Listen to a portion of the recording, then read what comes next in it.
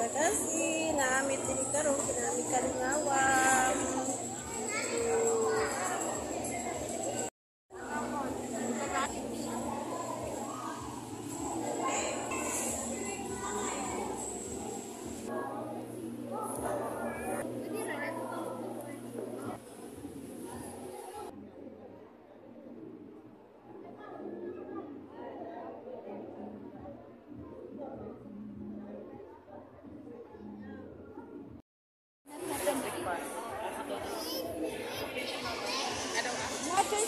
Dili kan wala pa ni order mo nang nang nakaibot sud ni.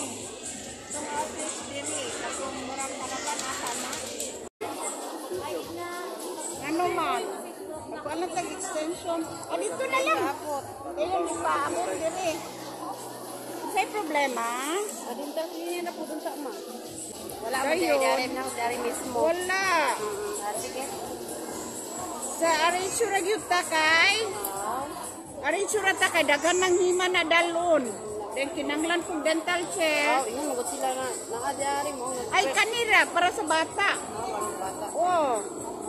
Ngayon, nagatag lang kong number ha. Schedule lang tamo. Dili kay dili ko na ko kaya nga kuan. Schedule lang kay tulungan ko na kong area ha.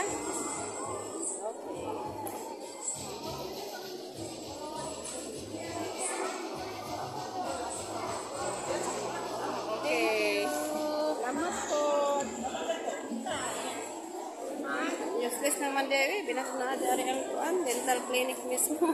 dental clinic. Wala ah, wala sa taka ng pantay.